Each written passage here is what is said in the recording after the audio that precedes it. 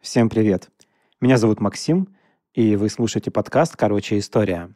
Но не совсем так, потому что на днях меня пригласили в гости в подкаст под названием «Тариф поболтать», где я побыл в роли пассажира такси и за время поездки успел рассказать одну интересную историю. Как обычно.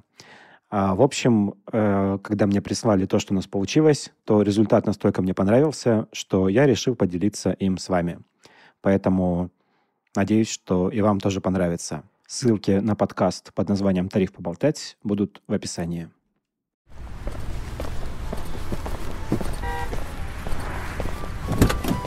Добрый день. Добрый день. Садовническая 69, правильно? Да, все правильно. Ой, ремень пристегните, пожалуйста, если не трудно. Ой, да, кстати, прошу прощения. На водительском всегда пристегиваю, на пассажирском часто забываю. Куда пусть держите, если не секрет? Да нет, не секрет, конечно. Я сегодня читаю лекцию, э, историю. Где-то через минут 40 начнется уже. Судя по всему, успеваем. Да, да, да, успеваем, кажется, показывает полчаса. Надеюсь, что не обманывает. Вы историк, так интересно. У меня по истории была твердая четверка в школе, но в голове мало что осталось, честно говоря. Ну, я не настоящий историк. Я скорее просветитель. М. Я интересуюсь. Ну, на самом деле, неудивительно, что у многих четверки, тройки по истории, потому что у нас такой подход к истории довольно снобистский, скажем прямо. И в России есть очень много людей, которые могут рассказывать про историю интереснее, чем это делают преподаватели и учителя. Мгм. Осмелюсь сказать, что у меня это более-менее получается. М. А где вы еще, кроме лекций, рассказываете? Ну, лекции это так иногда случаются. На самом деле это не основное мое занятие. Я веду подкаст про историю. Он называется, короче, «История». Ой, какое название крутое, слушайте. Я как раз стараюсь э, разговаривать простым, повседневным языком, описывать всякие события. Ну, кстати, вот у нас на дворе май, и как раз есть очень интересная история, которая случилась 130 лет назад ровно, связанная с Николаем II. А что за история? Может быть, как-то коротко мне расскажете? Потренируйтесь заодно перед лекцией. Буду ваша студентка первая на сегодня. Да, я всегда рад на самом деле. Вообще, почему вспомнился Николай II? Потому что 18 мая он родился, М. а 11 мая как раз с ним случился замес в Японии. М. История про поездку, поэтому сейчас будет поездка внутри поездки. Такой постмодернистский заход. Итак, Николаю, будущему императору, было 23 года, и его отец, Александр III, принял решение отправить молодого царевича в путешествие. Это было в нескольких целях. Во-первых, отцу хотелось, чтобы Николай увидел свет, посмотрел, как люди живут, и себя показал. Во-вторых, чтобы Николай во время своего путешествия посмотрел, как обстоят дела с железными дорогами, и ему нужно было поучаствовать в закладке железной дороги в Владивостоке.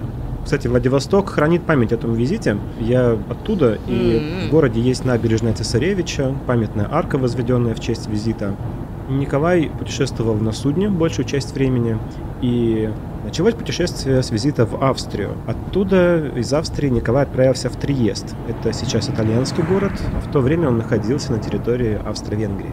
Николай зашел на борт э, судна под названием «Память Азова» и отплыл в Афины. Мгм. В Афинах он провел 7 дней, потом побывал в других городах Греции, и вот там к нему присоединился его троюродный брат, сын короля Греции, принц Георг.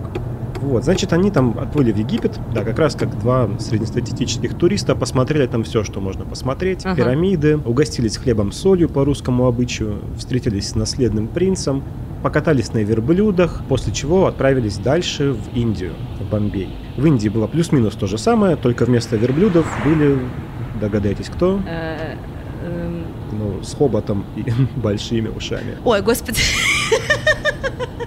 Слоны. Разумеется. Ну и вообще, видите, вот двойку мне можно ставить, мне кажется, в этом моменте. Не только по истории, но еще сразу по биологии. Извините, пожалуйста, да, продолжайте. А, Далее был Сингапур, потом Таиланд, который тогда назывался Сиамом. Затем Николай, Георг и вся свита отправились в Гонконг. Гонконг был тогда английским владением. И, наконец, финальная точка маршрута – отплытие в Нагасаки, японский порт. Кстати, вы слышали о том, что Япония раньше была закрыта от всего мира? Ого, ничего себе. А когда она открылась? К сожалению, не скажу, но это связано с именем Мэтью Перри, не того, который снимался в фильме «Друзья», Это адмирал Мэтью Перри, который прибыл со своей эскадрой и сказал, что если японцы сейчас не начнут торговлю, не откроют Японию, всем будет плохо. Но надо сказать, что Япония была не до конца изолирована. Все-таки через вот этот порт Нагасаки какая-то торговля шла. Ладно, я отклонился. Люблю так отклоняться иногда. Вернемся к нашим ребятам. Так вот, путешествие началось в октябре, а в Японии Николай со свитой оказались уже в апреле 1891 года. Знаете, что у Николая была татуировка в виде дракона? Ого, Цветной дракон. правда? Да, Ничего вот он в Японии как раз наковал в себе эту татуировку, но это вызывало у японцев довольно странные ассоциации, потому что Можете себе представить, кто в Японии носил татуировки в то время? Совершенно точно не дворяне и не члены императорской семьи. Как вы думаете, кто носил в Японии татуировки по большей части? Субкультуры? Криминальные элементы. Ого! Вот. И то есть э, Николай прибывает в Японию и просит мастера сделать ему дракона. Ну так вот, визит Николая в Японию воспринимался с большим воодушевлением, потому что отношения между Россией и Японией были довольно напряженными. Обе стороны хотели снять это напряжение. Было непонимание, связанное с Китаем. Россия претендовала на его территории. Япония тоже.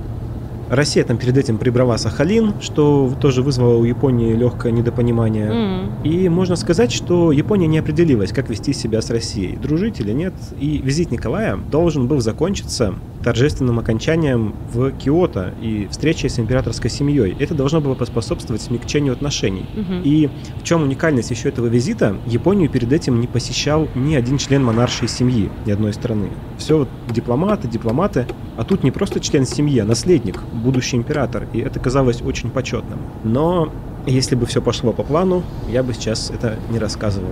Сейчас немножко нужно откатиться назад. Мгм. Не в смысле автомобилю откатиться назад, в котором мы сейчас едем, а нужно сделать небольшой заход в прошлое. Примерно за 13 лет до визита Николая уроженец провинции Кагасима Сайга Такамори поднял восстание против реформ императора. Мгм. Сайга Такамори был самураем.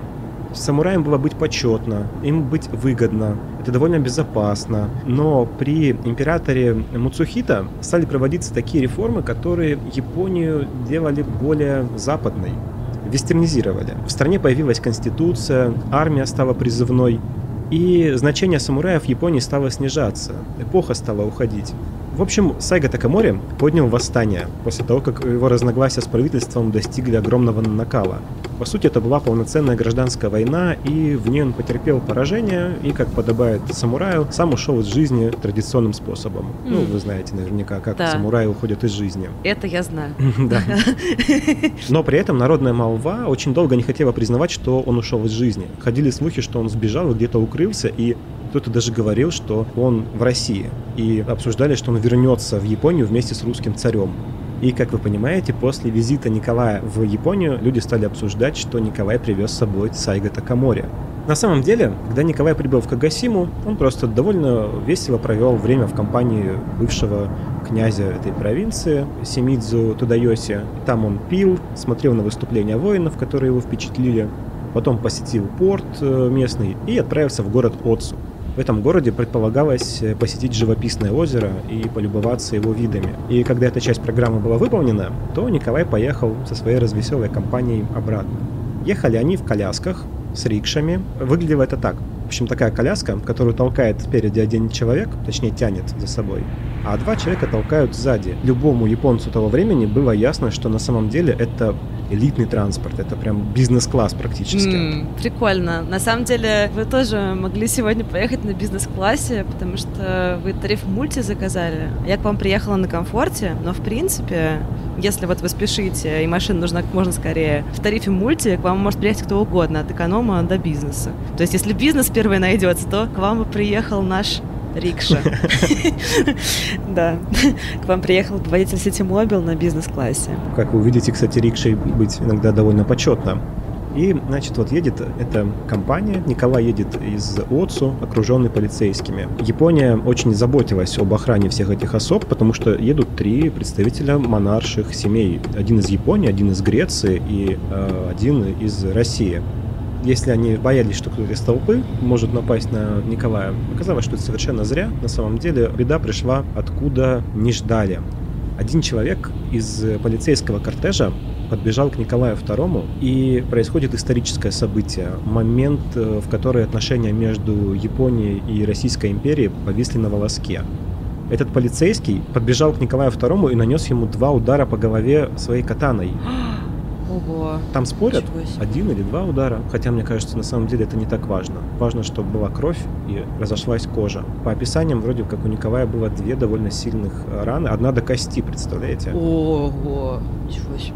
Ну, Николай был в котелке, М. и он был в штатском. Мгм. Котелок его отчасти спас от удара. Кроме того, еще два человека ему помогли, даже три человека. Один это греческий принц Георг, его троюродный брат, который попытался отбить удар бамбуковой тростью. Мгм. А вот два возницы Николая э, скрутили неудавшегося убийцу. Дальше подбежали полицейские, закончили работу и обезвредили его. Мгм. Нападавшего звали Цуда Санзо. Этот весь исторический момент он занял 15-20 секунд. Но от него зависело очень много. Представляете, если бы Николая убили еще тогда, это Россия бы совершенно другим путем могла пройти. 20 век. Извините, а вам не душно? А то просто что-то мне душновато стало. Если вы не против, я немножечко окно открою. Я, кстати, сам хотел попросить. Надеюсь, я рассказываю не очень душно. Нет, Нет, нет, все в порядке. для меня это критично важно. Рассказывать живым языком. Да, ну вот, ранили его. Да, и представляете, что тут началось, какие последствия. Это же международный скандал. Николая положили в больницу в Киото. Туда съехались все, кто мог, а в том числе сам император Японии. И вот это было неслыханным делом, потому что у императора весь маршрут расписан на долгое время вперед, и никогда император не изменял этому маршруту, расписанному на многие месяцы вперед. А здесь он неслыханное дело, сам отправился к Николаю в больницу. Николай сказал, что ничего страшного не произошло, что отношение к Японии у него не изменится никоим образом, что этот досадный инцидент ничего не поменяет. Маршрут Николая по Японии еще не был закончен, Мгм. ему предстояло посетить Токио, но его отец, Александр III, решил, что, пожалуй, погуляли и хватит. Хм. А вдруг еще кто-нибудь нападет где-нибудь, пора возвращаться. Мгм. И уже через несколько дней Николай отбыл во Владивосток на борту корабля под названием «Память Азова». Надо сказать, что на борту его снова посетил император. И это прям экстраординарное явление, потому что палуба российского корабля — это территория Российской империи, даже в японском порту. А императоры Японии за всю их тысячелетнюю историю никогда не покидали территорию родной страны. И надо сказать несколько слов о нападавшем и о том, что с ним случилось. Сначала хочу немножко сказать о причинах нападения. С одной стороны, этот Цуда Санзо, этот японский городовой, он участвовал в подавлении Сацумского восстания, о котором я говорил. И если он поверил слухам о том, что Николай привез с собой вождя того восстания, Сайга Такамори, то вполне мог напасть из-за этого, чтобы не дать Николаю осуществить вот эти коварные планы. А в то же время, во время следствия, этот полицейский уже говорил о том, что сам считает себя самураем и даже сочувствует Сайга Такамори, с которым он воевал. В общем, похоже на то, что бывший самурай, а в то время полицейский, Суда Санзу, испытал какой-то невероятный личностный кризис, а Николай просто стал для него воплощением всех его проблем. Его судили, и случился интересный казус. В японском правительстве все говорили, надо его убить, прям как можно быстрее. Но по статье покушения на убийство, то есть убийство же не было закончено, его могли только отправить на каторгу максимум. Есть еще статья в японском э, уголовном кодексе того времени «Причинение зла императору, императрице, наследному принцу». За это полагалась смертная казнь, но эту статью нельзя было применить, потому что титул императора обозначался в этой статье как «тенно» — японское слово. Оно означает император Японии, и оно не может быть применено никакому другому императору. Возник спор такой. Судьи работали под огромным давлением, потому что в заседание приехали три министра в ожидании, что будет вынесен политически мотивированный приговор. И судебная власть в итоге показала свою независимость и отправила бывшего полицейского на каторгу, на остров Хоккайдо. Он там находился в довольно комфортных условиях, если не считать того, что там было холодно, потому что Хоккайдо это северный остров, и там он умер через два месяца после прибытия. Умер он от пневмонии. Ну, и еще из последствий, что уже после смерти Николая II рубашка с кровью, которая была на нем в Японии, использовалась для генетической экспертизы останков царской семьи. Кстати, у меня есть отдельный выпуск про убийство Николая II его семьи в моем подкасте, по-моему, за номером 12. Ой, я послушаю, очень интересно. Ну, мы, собственно, уже с вами подъезжаем. Как э, удачно уложились истории. Немножечко дольше ехали, чем э, обещала я вам, в общем. Да, кстати, я смотрю, у меня здесь приложение какие-то добрые километры. Что это такое? Это такой благотворительный проект Ситимобил. Вы можете в конце каждой поездки перечислить процент от ее стоимости фондам-партнерам. А они могут потратить ваши деньги на транспорт для своих подопечных и волонтеров.